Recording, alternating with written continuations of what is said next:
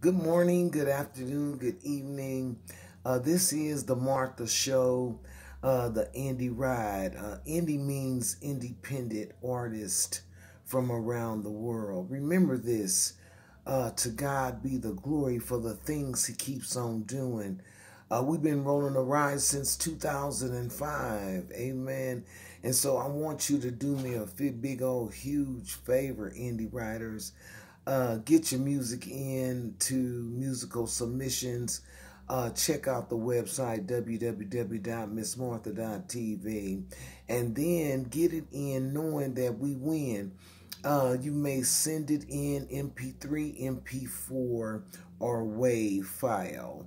Uh, it's no fight to get on on the indie ride of over 10,000 songs.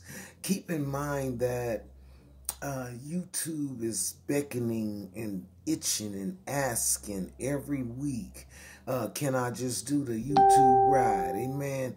And so I'm going to look over there and look into it. Amen.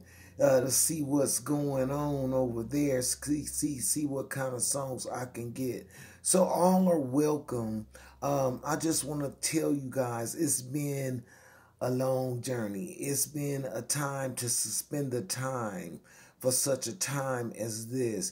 As we get into our own business, uh, be about daddy's business, uh, we can decree a thing. And so I'm asking you uh, to decree a thing uh, uh, about your business, your situation, what you got to do uh, to get on the charts. Some of you guys are really on them charts. I'm watching, I'm a numbers chicken head, you know, and I want to thank YouTube um, and I want to thank um, Twitter.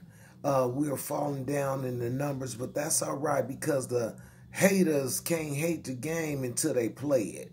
Amen. And so this is Miss Martha, uh, better known as the Gospel Diva, Las Vegas, uh, getting it in around the world.